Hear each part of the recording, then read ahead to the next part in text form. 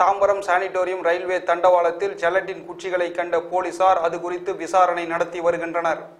சென்னையை அடுத்த Tambaram sanatorium railway தண்டவாளத்தில் ஜெலட்டின் குச்சிகள் சர்க்கியூட் போர்டில் பேட்டரிகளுடன் இணைக்கப்பட்ட நிலையில் கிடந்தது குறித்து விசாரணை நடைபெற்று வருகிறது.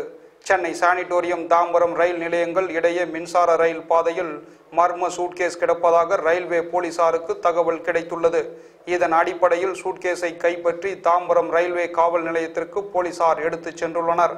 ரயில்வே பாதுகாப்பு படையின் வெடிகுண்டு நிபுணர் குழு மர்ம சூட்கேஸை உரிய பாதுகாப்பு ஏற்பாடுகளுடன் சோதனையிட்டுள்ளது. இதில் சர்க்கியூட் போர்டில் பேட்டரிகளுடன் பொருத்தப்பட்ட நிலையில் ஜெலட்டின் குச்சிகள் இருந்துள்ளன. அது வெடிக்கக்கூடிய அபாயமுள்ள பொருள் அல்ல என்று ரயில்வே போலீஸ் வட்டாரங்கள் தெரிவித்துள்ளன.